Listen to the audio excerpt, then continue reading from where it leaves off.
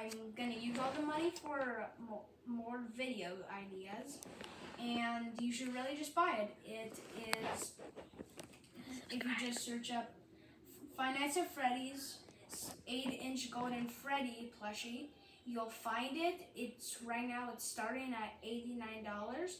The profile is the Freddy thing, like right here, the floor, and then the wall. It's at like a counter. I will the the thumbnail has the thing. Thank you. Goodbye. Okay, I'll start in three, two, one. Hello, guys, and welcome back to another video. This is gonna be a short video.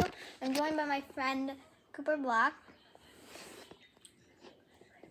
What am I supposed to say? Restart that.